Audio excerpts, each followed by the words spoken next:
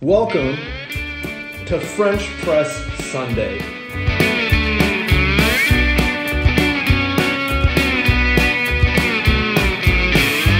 I'm very excited because we have a guest uh, today joining us for Pour Over 101. Let's do it for French Press Sunday.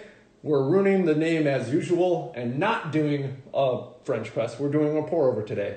But it's going to be super awesome because Darren Robinson from the band Phantom Planet is coming to do some pour overs with us. It's going to be really, really fun.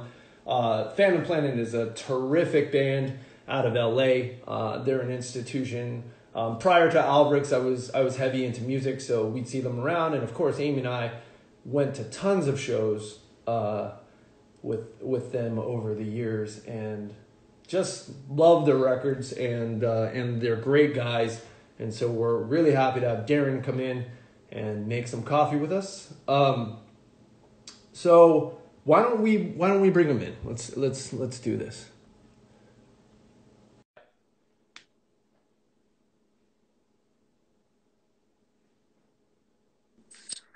There he is. hey, Darren. Thanks for are you, joining man? us today. Good to see you. What's that? Um, let me turn Thanks this for up. us. There. No problem. Thanks for having me. I appreciate it.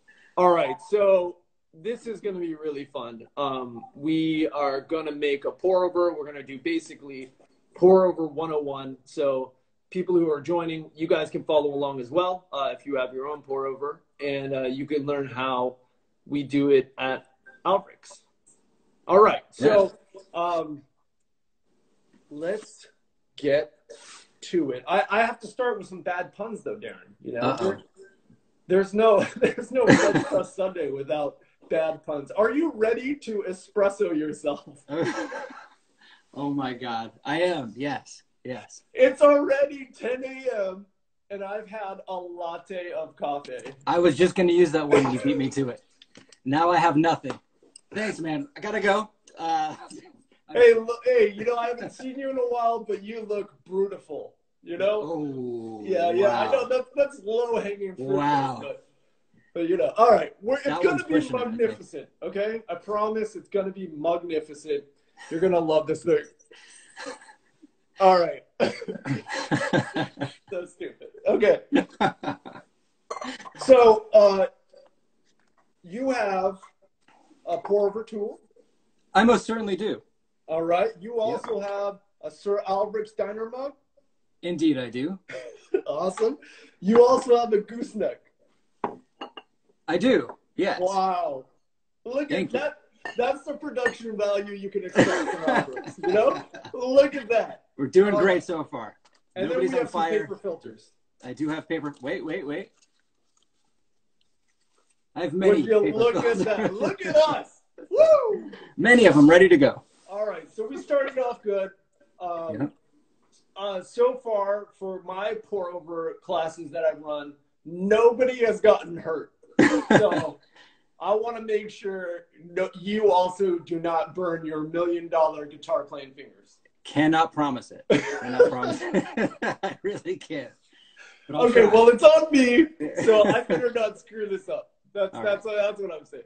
All right. All right, so pour over for me uh, is really for uh, you know like black coffee, no creamer, no sugar. This is really a great way to open up coffee and get all the essences, all the flavors out of out of the coffee. Um, it kind of um, like if French press is really heavy body, the pour over opens up the spectrum of flavors.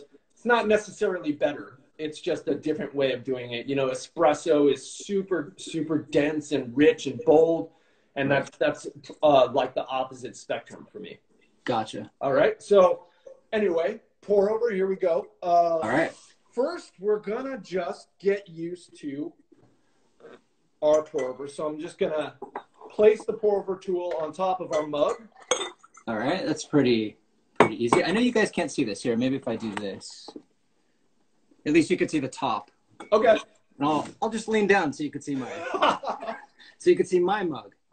Awesome. Yeah. All right, and then uh, we're gonna fill this with just uh, sink water, so le- regular room temperature water, just halfway up. halfway up.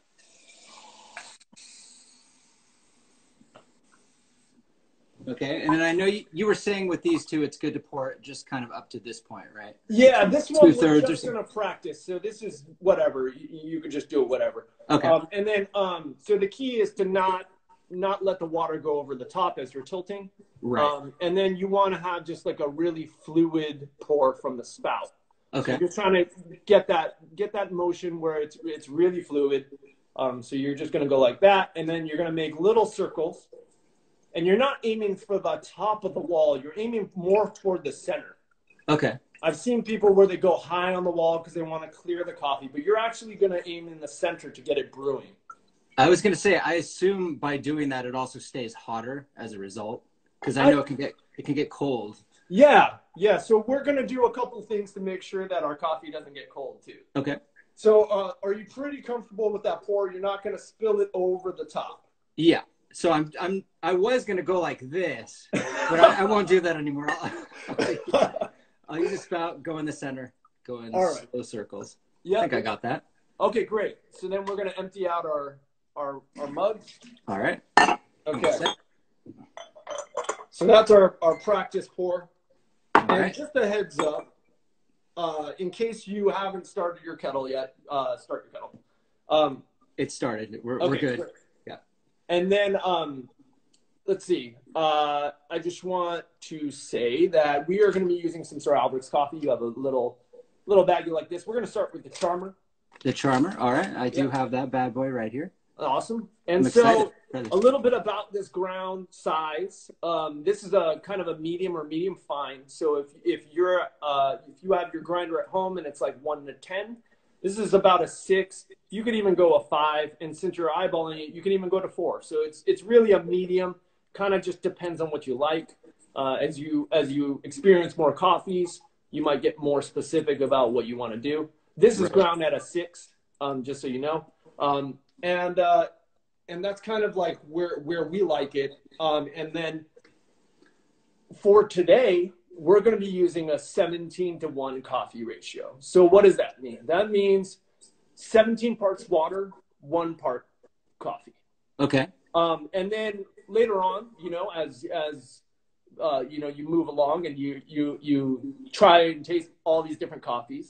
Um, you can always you can always change the ratio. So like if you want more boldness, more body, then you would just add less water.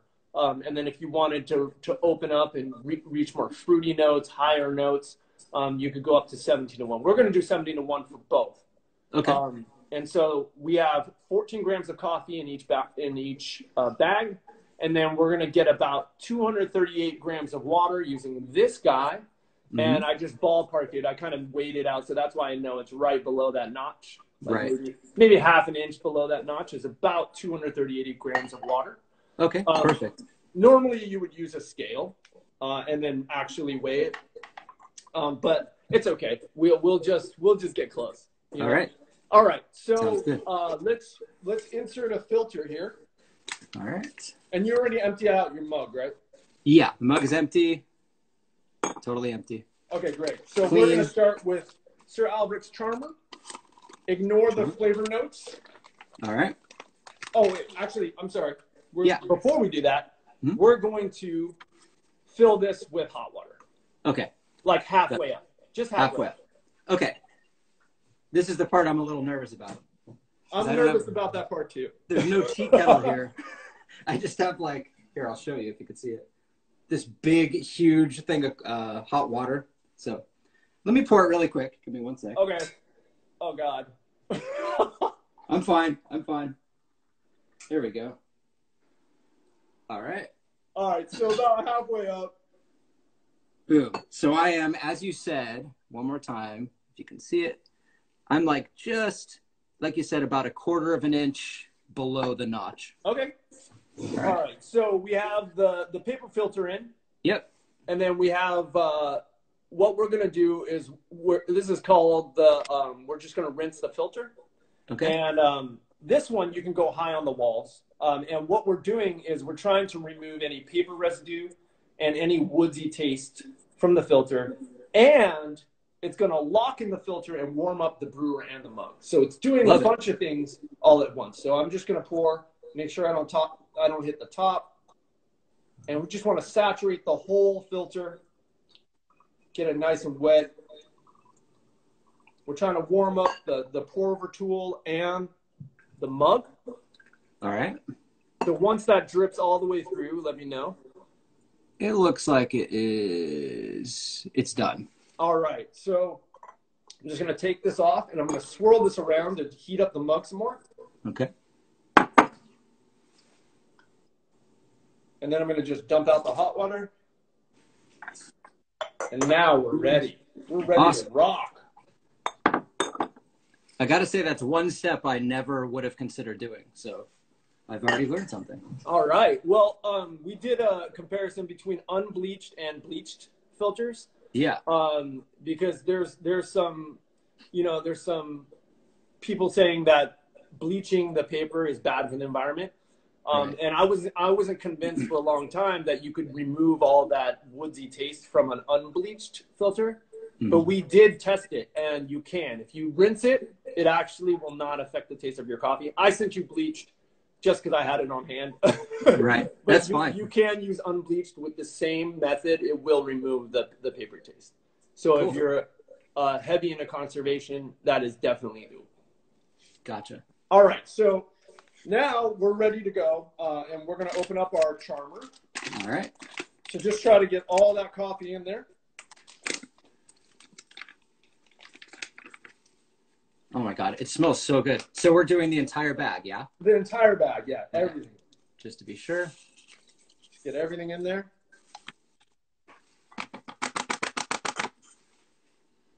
Ah, it smells so good. Yeah. So if you take a Man. whiff, you can definitely smell. To me, it smells really bright and fruity. Definitely. All right. Mm. And then Okay. so now we're gonna refill this thing up to the two thirds spot. Okay.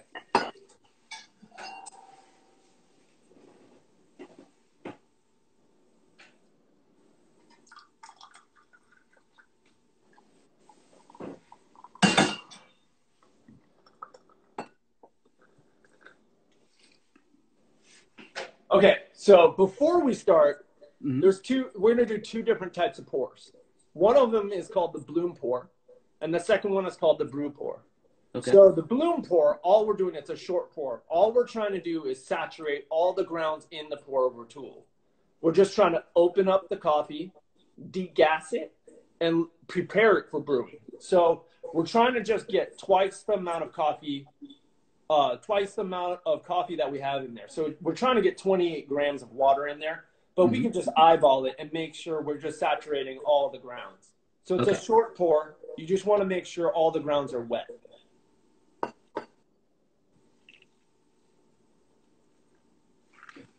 We're making coffee. Almost there. Okay. Yeah. That looks pretty good. Okay, great. So you'll see it bubble a little bit. It'll even rise. And that's just the coffee preparing to be brewed. Okay.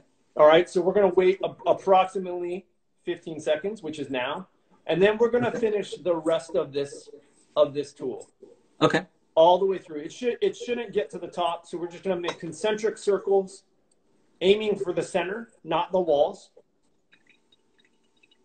Being careful not to tip over the water from the top. Yeah. Something that I probably would do, by the way. So I'm being extra careful right now. Are we pouring all the water that's left? All the water, yeah. All the water. All right. and it should it should probably get close to the top and then and then it'll be done there All right. Oop. Okay, Oh, I just did. go. It went over the top. That's my fault. Amateur right here. All right. That is Nice. all of it. all right so so is the water still on boil just make sure that because we're going to do two cups Oh yeah, the water here is still very very hot. okay great It is boiling actually. Yes. okay perfect all right so uh we're this will probably take a couple minutes um but we're just going to get all that 238 grams of water in there Mhm. um and uh we can smell it as it's going through so this is an ethiopian coffee Ah. Oh my god, it smells so good. I can't I can't wait for you to show this off to the rest of the guys. I'm I'm excited. I've already I've told a couple of them about. I mean, this is one blend that you gave me, uh, the Golden Hour, Yeah. which is probably my favorite one because of the uh, like their sense of chocolate and caramel and Yeah. black tea, which I'm a big fan of. But Awesome. uh, yeah, I, I will get them into it for sure. Yeah, this is gonna be this is gonna be a crazy, great uh, way to make coffee every day. Um. And then just just a heads up, the the size filter that we're using is a two. Um, so in case you wanted to repurchase more filters, um, they're they're just sizes. So just heads up. Gotcha. All right, is yours looking like the grounds are dry? It is getting very close. It's Okay. dry like around the edges. And Okay, then in the we center, center it's still going just a little bit. All right, Just- we can done. do a little check if we just like peek under. Let's you have can a look. it's still dripping. Barely dripping. Okay, cool. So that's pretty close. Um, you could just remove this guy All right. altogether. It's pretty pretty easy. Just cinch it up like that. Yep. Yep. And then just yep, shake it out. Shake that bad boy out. Okay. All right. And then we're actually gonna put this off to the side for a second. Okay. So we're not gonna Now, drink it right away. We're am gonna... I allowed to? Am I allowed to taste it really quick? Or No, you wait? yeah, of course. You can. Okay. Yeah. I'm dying to. So. Hold Of on. course. Oh my! It's so good. It's so good. That's awesome. I said I'm gonna take a little bit, but I'm like having half the cup. Uh, here. All right. I'll put it to the All side. right, so uh, we're gonna rinse out our filter real quick. So All right. our pour over. So just just in case you guys are joining us now, we're doing a pour over 101 uh, with Darren, and uh, we're going to be making two coffees. We're making we just finished an Ethiopian coffee, uh, and now we're going to make uh, Sumatran coffee. Um, so we're going to do the same steps again. Um, Okay. So we have this rinse, and then we have a fresh mug, right? Do you want me to use my my second mug? Yeah, second mug. So fresh this is my my my favorite mug that I got in Japan. So awesome. Just showing you. All right. Put that bad second mug, and then pour over tool, Yep. and then new filter, New filter. and then we're gonna fill up our water thing again. This is this is we're gonna lock in the filter again and, and, keep- and rinse it. Okay. So we just need a half or something like that. Sounds good.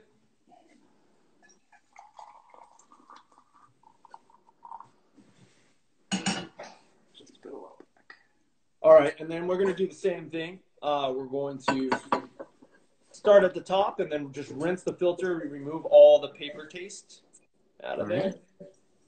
right. And then we're also heating up the pour over vessel and the mug while we're doing this. Yeah. And it's going to lock in our paper filter as well. Love it. All right, so once it's passed through, we're going to just swirly swirl again Okay. Whoops. And then dump. Okay. All right, now we're ready. So now we're going to fill this up to two thirds as we did before. Two thirds.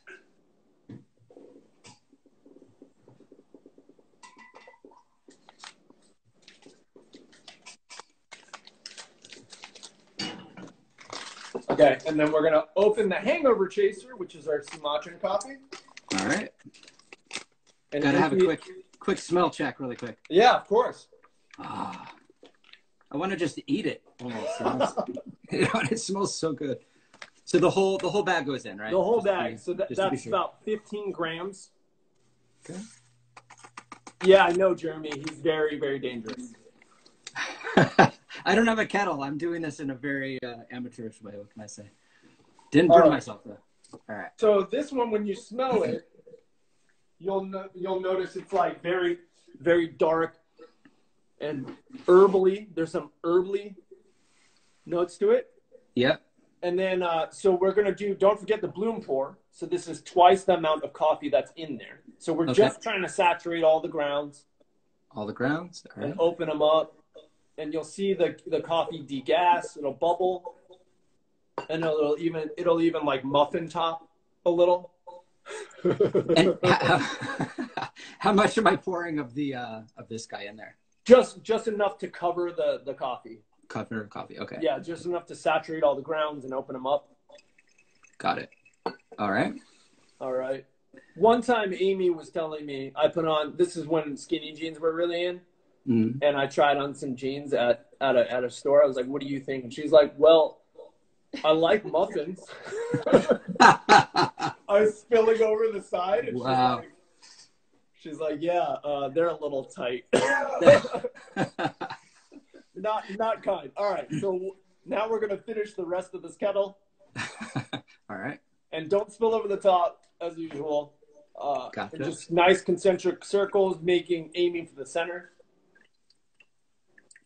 Got it.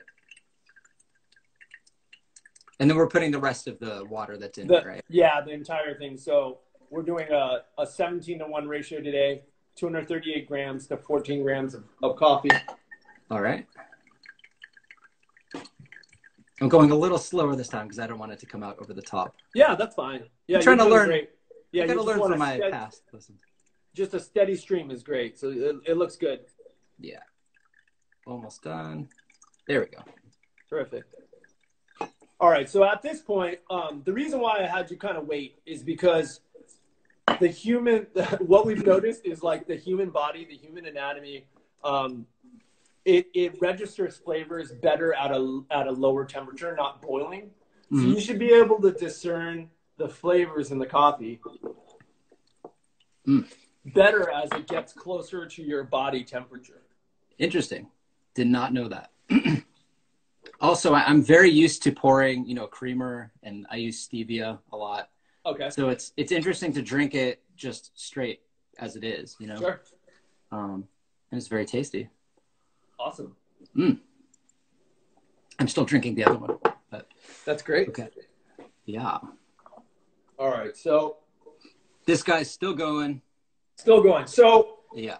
on our original one, this is our first Ethiopian. Like, what Yep. kind of what kind of flavors do you notice uh, in in the coffee? It's not a test. Um, it's hard to say. I mean, let me let me taste it one more time. okay, sure.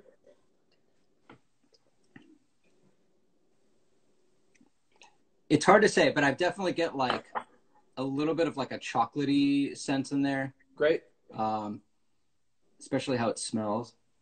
Yeah. So there should be. Um, to me, it's it, there's some lemon lemon citrus. Definitely citrus. 100%. So there'll be like uh, a very bright fruit, a br- very bright fruit thing. Uh, that's why Amy called it the charmer because it's very, it's a very charming coffee to, to us, uh, with all the all the fruit notes. definitely. Great for like uh, a Sunday morning, you know. Yeah. Oh, that's a Maroon Five song. Not That is it. I, I was gonna say. I was gonna say. all right. So so the hangover chaser should be about done. So let's take out Yep. that filter. Looking good. Put this off to the side. All right. So it'll be a little bit warm, but we can kind of taste the the different flavor notes here. Should I let it sit for a second, or Yeah, I you can let it sit. Yeah, sure. try it in a minute? Yeah. How was your Sunday going there, Luther? It's going great. Um, Amy just walked in, so I will have Amy come in and say hi, and then we'll talk Phantom Planet. If you'd like. Hi, down. Darren. Well, look who it is. Hey, how are you? Good to have you on. how are you? How are you? I'm good. I'm very well. I'm drinking right now. I am actually drinking two cups of your coffee at the same time. Um, with I have two mouths. There's one back here. So both are very good, by the way. Yeah, that's really good. So second cup. What do you I'm like think? shaking already from from all the caffeine. What do you think great. about this uh, this second cup? This one is what I'm getting right now is a little bit more of a sweeter taste, like on the. I sound like I'm a, I'm a, uh, an expert here, and I'm definitely not. But No, that's good. Yeah. it feels a little sweeter, like on the tip of my tongue, um, and has kind of like a. I'm kind of looking here to see if I'm if I'm right, but it has kind of like a sort of a berry taste to it, like hints of citrus maybe. Hard to tell, but it's it tastes great. It's a lot different than the other one too. Yeah, so we think of this one as more like earth, earth, Mm. earthy, Yeah, um, uh, herbly and spicy. Um, it's it's definitely on the darker side uh, of the spectrum for us as a roaster, um, but we love it. It's called the Hangover Chaser, and and people think it's a funny name, but we we think it's really really great great coffee too. it is. Not It just is. a funny name. It's very good. Definitely enjoying it. So, all right. So, uh, French Press Sunday. Let's let's talk about Phantom Planet because I Devastator has been one of my favorite records of the past year, and we play it at the shop all the time. Awesome. Thank you so much. So, Appreciate uh, that. for those of you that don't know, uh, Devastator re- was released June of 2020. I don't know if it's recency bias or anything, but it's it's really freaking solid, man. we, we love it. Appreciate that, man. and Thank like you. I don't know if this is I don't know if you guys are conscious of this, but as like as as a fan, I think Devastator is like this natural evolution of like all the past records. Like so like Phantom Planet is missing is like you guys are kids and you're just learning how, like what the voice is and what you're trying to do. And then Guest is like big pop songs, choruses and and uh and just like you guys are really finding it. And then you became Phantom Planet uh, K Rock darlings with Bad Business and like this indie rock, like dope, uh, really stylish uh, a band. And then and then Raise the Dead comes out, and you guys have this really uh, complex songwriting. And then Devastator is just just like it's hard to explain, but like you know, we aged with you guys, so it's just this natural like level of maturity that you guys have hit with Devastator. Like, Yeah. are you do you guys are you conscious of that? Are you trying to do that, or are you is it just something that's coming naturally? we we are very conscious of it um you know we we never have wanted to make the same record twice so um your description by the way was amazing like going from is missing to the guest to phantom planet all of it was very much you know when we're in the studio uh like you said when we did is missing that was very much like what are we doing we've never done this before you know Sure. we were so new and so young uh, getting to the guests, you know, we had Mitchell Froom and Tchad Blake who were producing the record, who are um, kind of like they're legendary producers. Um, so that was a bit more uh, focused and uh, maybe polished. Um, and then, yeah, you know, just as we've gone, we've always wanted to just explore different styles of music and uh, as a band, as a unit, really get all of our interests and combine everything and, you know, uh, see where we were at the time.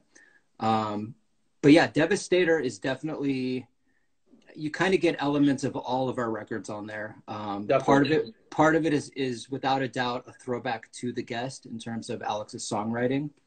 Um, but then you know the way that we recorded this record um, was a lot different than we've done other records. Um, when I say that, I just mean for other records we would normally do like pre-production where um, you know you sit with the producer and you go over the songs over and over again. You make sure all your parts are where they need to be.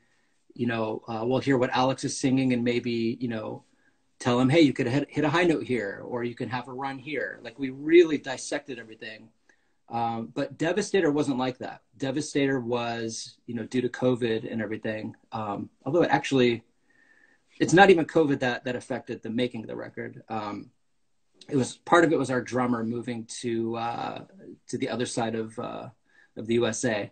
So um, we went in without really knowing what how it was going to turn out or what we were going to do. We weren't rehearsed with the songs. So a lot of it was us being in the studio and just kind of figuring out what our parts were there.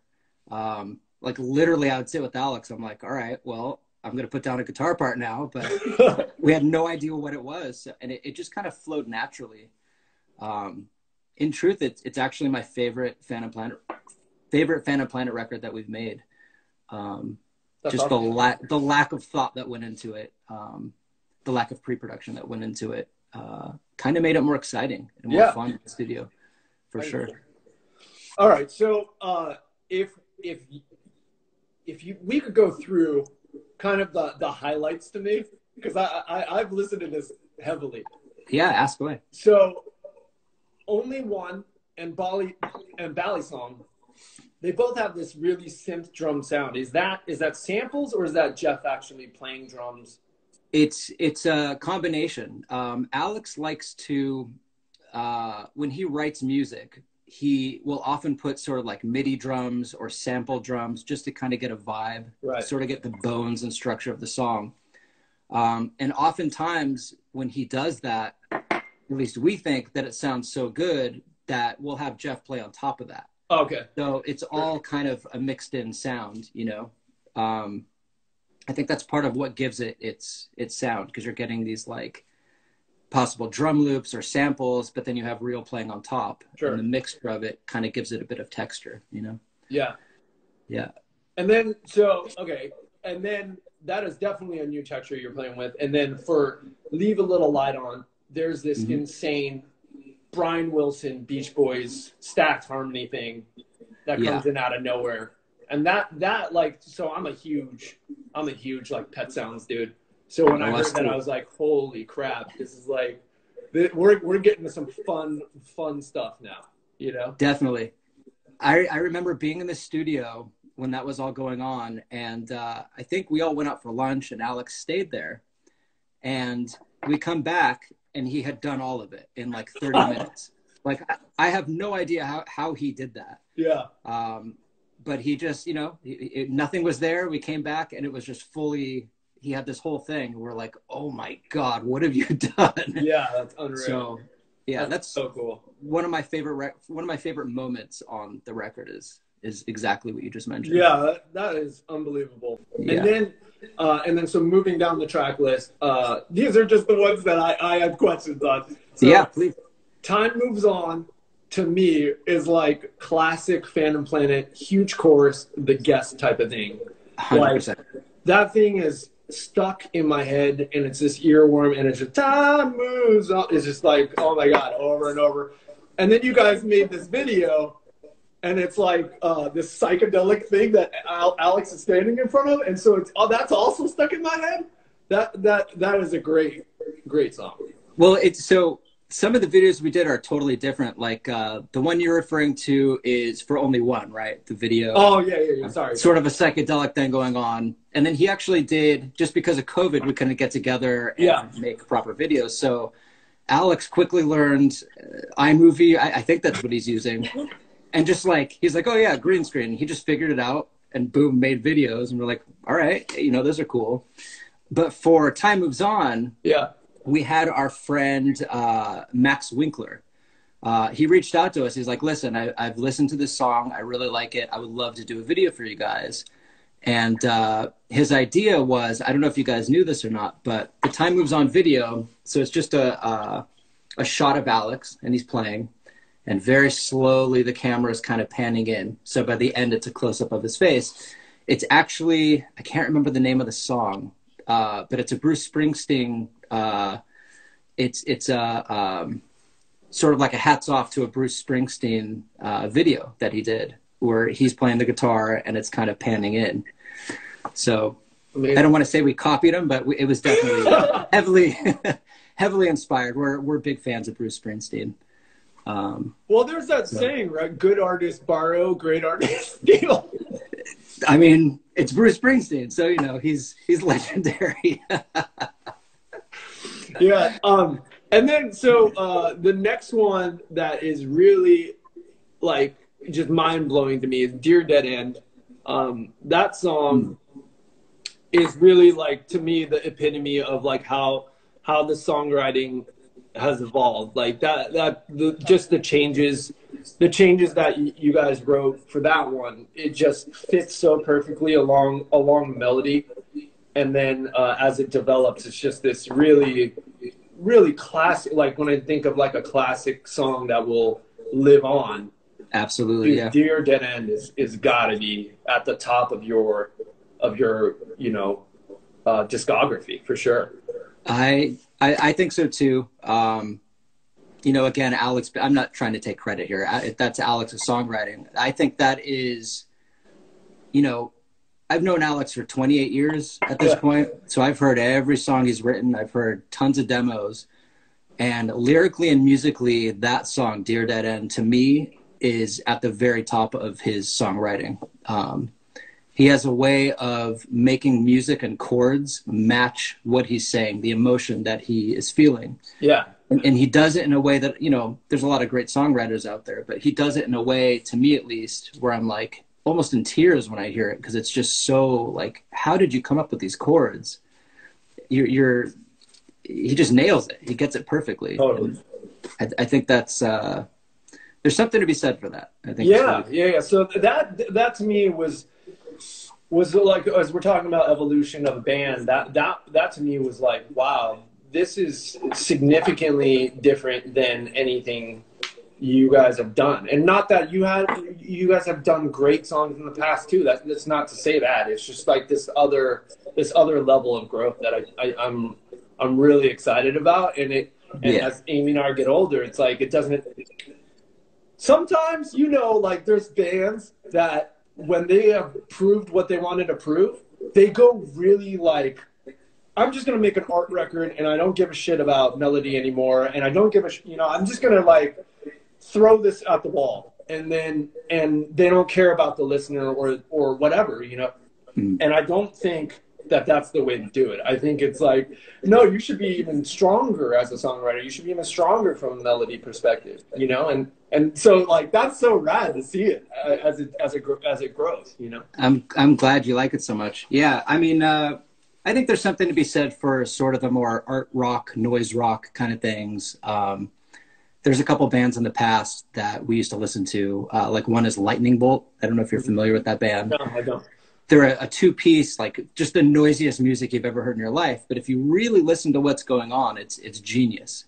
So there's something to be said for that. But uh, you know, I think as we've matured, um, and due to some things that we've gone through, you know, hard times that we've gone through, I feel like it's it's hit a place where the the innocence is gone, and I think that's kind of what Dear Dead End is touching on. You know, if you really listen to the lyrics, um, you're kind of getting this raw emotion that is uh, hard to fake. You know, yeah so Yeah, and, and the the the end section of waiting for the lights, that last coda oh is is unreal, and I'm like, oh my god, that's that's so cool. It's just this repetitive, you know, lyric, and it just Yeah. like it just takes you down that that road of everything that he's he was trying to say in the beat through throughout the song, and then it's just like Absolutely. repetition. Really cool. We, uh, I might have mentioned it. So we had a podcast. Um, had we still have a podcast, but we need to make we need to make some new uh, episodes. But uh, pretty sure I talked about it in one of those. I can't remember, but um, I remember listening back, going to Alex's house, and we were listening to a rough cut of the record. It wasn't fully mixed, wasn't mastered. Um, but we listened to Dear or not Dear Dead End, uh, waiting for the lights to change. And by the time that part came in, the end part, I looked at Alex and I just started bawling. Like I just, I finally felt, you know, I- I knew what he was going through when he wrote the song, but it like really hit me at that time, and I just, I lost it. And Wow. he started crying. I mean, it sounds ridiculous, but, it, but really, you know, like when music can do that to you, it's, it's, you know, it's, it's an amazing thing. So, um, I feel you. I feel you on that. I, I you know, I uh, I'm proud of it. I'm proud to have been part of that Yeah, that whole thing. yeah, that's great. Yeah. So Amy and I have been uh, have watched you guys literally like from very early on uh, with Jacques and Jason Schwartzman, Oh yeah. and uh, we saw you guys at South Coast Plaza. You did some weird like in the parking lot show. it was crazy. I think I remember that. Yeah. I think I remember that. Yeah. and then through the years, uh, you know, you guys, we I bumped into you around town in LA. Amy and I both, and you guys have always just been so great, uh, and and of course blowing us away at all the shows. Are you guys gonna go on tour for Devastator, or are you gonna work on a new EP? What what do you guys have planned? Great question. Um, there is a lot of new music that is being written right now. Oh, cool. Um, Alex is writing constantly, like no matter what. He's just he's like a machine, um, uh, an emotional machine, I should say. Uh, everybody in the band writes though. Sam is he produces and writes for a bunch of different people. Um, I write. I have a lot of stuff. I have a project called Dead Honcho with my friend Sal. Um, you know, it's not a project that we've ever toured or anything, but we just write music and produce it just for the fun of it, and we release it for free. Um, and Jeff, I know Jeff writes a lot of music too at his place. So, um, what was your initial question though? I already lost track. What what is the what is the next step? Are we going to see a Devastator tour, or are we going to see a new record? Thank you. We we uh, eventually you will see a new record, or at least a lot of new music coming out. I'm not sure how we're going to format that. Sure. Um, but we do have a lot of touring coming up uh, later this year. I don't want to say any shows just because until they're 100% confirmed. Um, but we do have shows coming up. We have some touring uh, coming up next year. We're supposed to play with uh, the format. Oh, I guess cool. they're do- they're doing the reunion as well. Awesome.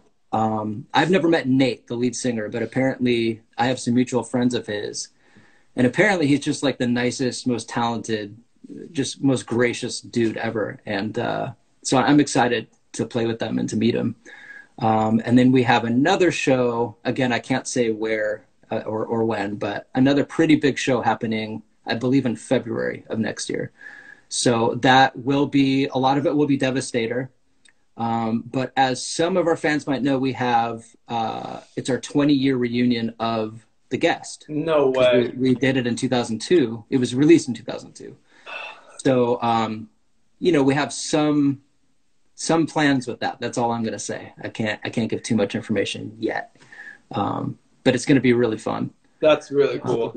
Yeah. You got? Do you stay in touch with with Jacques and, and Jason? Um, I don't I don't talk to them personally that that often, but uh, Jason Jason's super busy. He has kids and a wife, and he's doing his own thing. But uh, we do contact him. We are in touch with him. Oh, cool. Um, he's doing pretty well from what I know.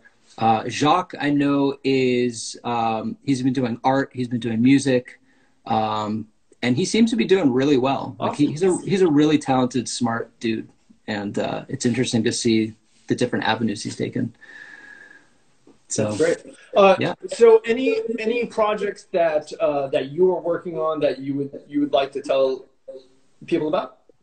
Uh, I guess I could I can mention it here. It hasn't started yet, um, but it's going to. I need to get a brand new computer. Um, I, I have so I bought an iPad, which is what I'm using right now, and I was hoping I'm like, hey, I'm gonna record music on here. Not as easy because you have to use GarageBand. You can't use Logic. Um, so uh, I will get a new computer, and once I do, I have a new side project. Oh, cool. Um, I don't know if I want to release the name of it just yet, but uh, You don't have to. You don't have to. it's subject to change. But um, it's got a pretty funny name, um, Cool. funny slash cool name, and uh, most likely when I start writing more music for it, I'll probably just release it for free and uh, Awesome. kind of put it on SoundCloud or whatever and get it That's out there. Yeah, and I appreciate all the all the tutorials you're giving.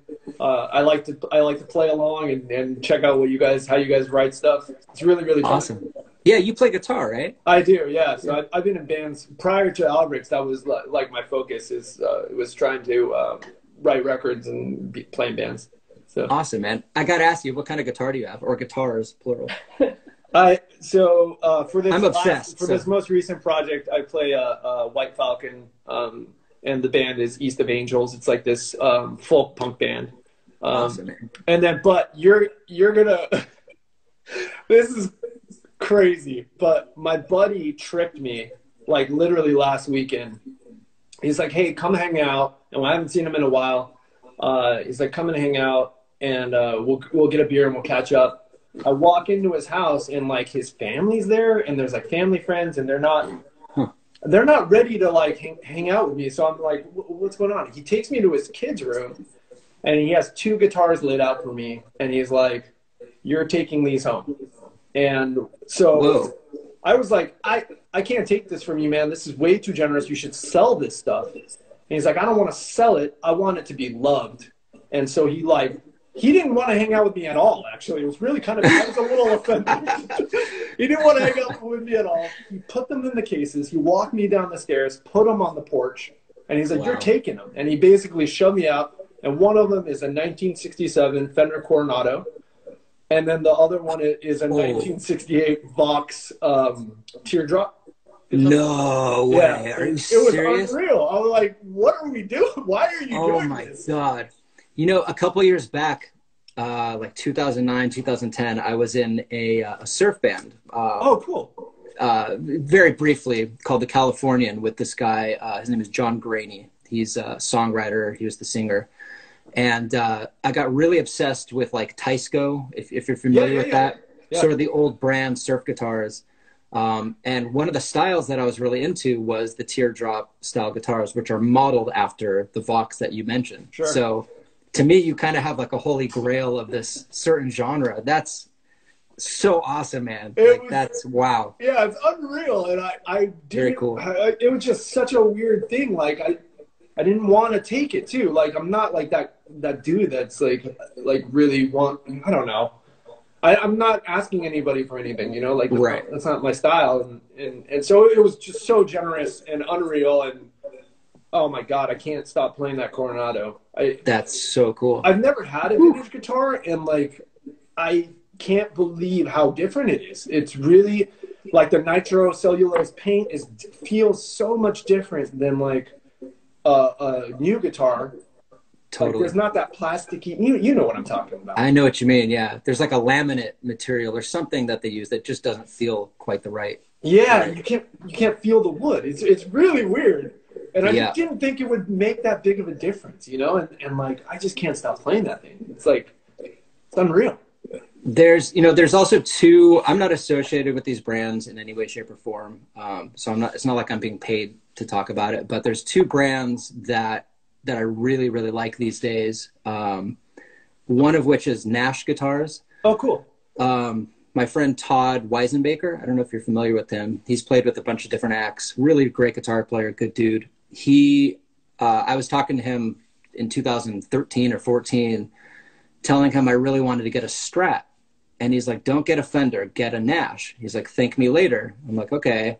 Went to a guitar shop, played one. It was one of the best sounding, feeling guitars I've ever felt. Feel they feel like. Uh, like vintage guitars. They're just made and designed like that. And uh, since then, I think I'm on my fourth one now. No way. A Stratocaster, yeah, uh, That's awesome. a Nash Strat that I bought. One of the my favorite guitars I've ever played. Um, and then there's another brand too. Again, not associated with them, but uh, I don't have one of their guitars yet. But it's called a water slide guitar. I've never Um, heard of there's this. there's this guy out here in LA named Patrick who uh, makes them, and they are just phenomenal guitars.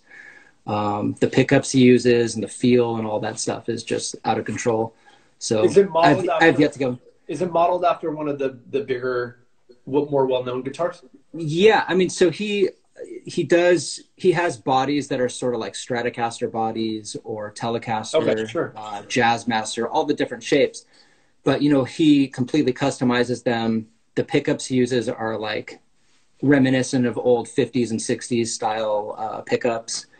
Um, they look just insane. They're it's just That's such a so cool guitar. I really want to get one, but um, I have yet to to make that happen. Do you have a, a collection that you only do like for the studio, and then and then like touring guitars? Sort of, yeah. Um, I mean, I've gone through a lot of guitars. I've had probably 70 or 80 guitars Oh in my my god! life, but I have four left. Uh, or three? Oh my God. One, two.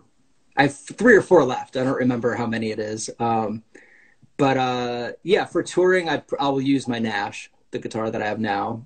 Uh, and then for home, I now still have the uh, a Gibson Gold Top 56 reissue. It's what I used to use like back in the guest those Sure. days. Yeah. Um, and then I have a Gibson E ES335. Um, they're not vintage; they're they're reissues, but they're really great guitars. Yeah, I love that E ES335. I think totally. So those those are more like studio guitars for me now. Um, but definitely that those Nashes I love to take on tour. They're just they're perfect. They're Yeah. perfectly made.